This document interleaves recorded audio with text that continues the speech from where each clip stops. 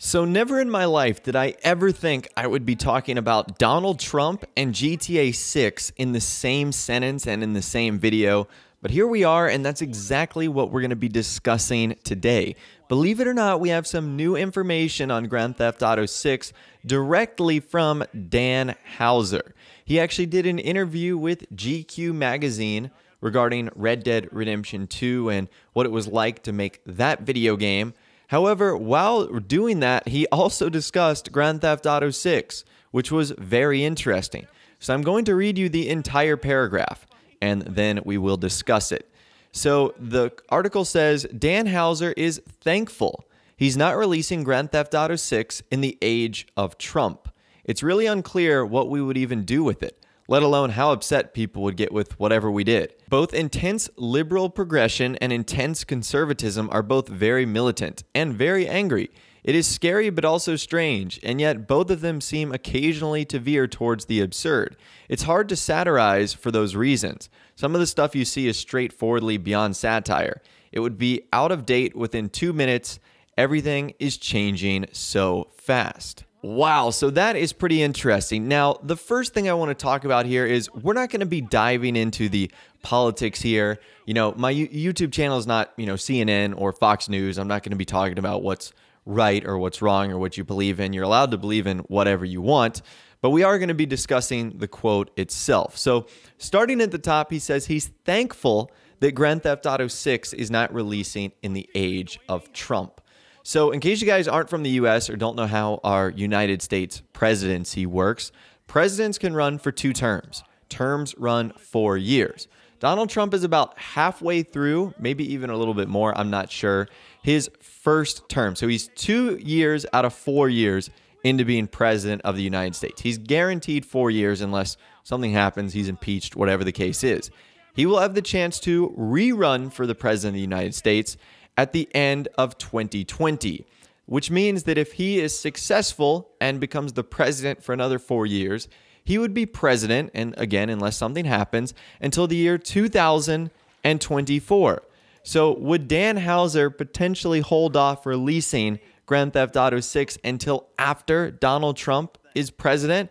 That would mean that it would have to be a 2024 release or a 2025 release, which would put us at about six years out, which I guess isn't too crazy to think about considering the gap between GTA 5 and Red Dead Redemption 2 was five years, especially if it is a big game like Grand Theft Auto 6. Could we see it come out in a year like 2024, 2025. It seems like an eternity away, and it is. It's six years. I mean, so much changes in six years. People go off to college, people move out of the country, they do so many different things. But yes, that would be a long time. It doesn't necessarily mean there won't be another Rockstar game in between that. I'd imagine there's a good chance we see something like Bully 2, maybe two or three years down the line thus making the gap between GTA 5 and GTA 6 and Red Dead Redemption 2 and GTA 6 a little bit more manageable and easier to cope with.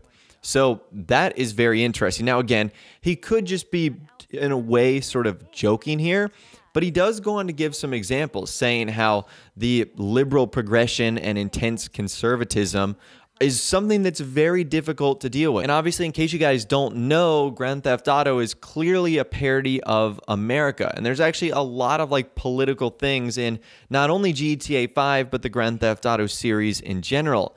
I mean, if we just take a look at GTA 5, look at, you know, someone like Sue Murry or Jock Cranley, which is like a clear representation of US politics. And there's so much more that goes on within the world. Like there's even missions that even get sort of political.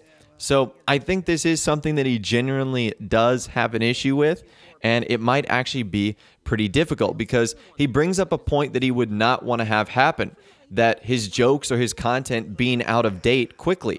I mean, it's not like Rockstar can go back and change everything just because the narrative of America switches instantly.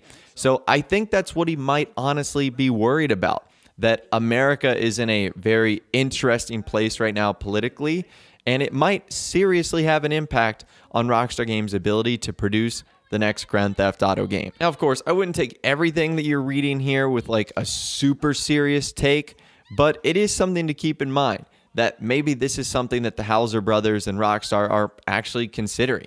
Maybe we don't want to make a GTA game until this is sort of blown over. So that would definitely be interesting to see if that is the case.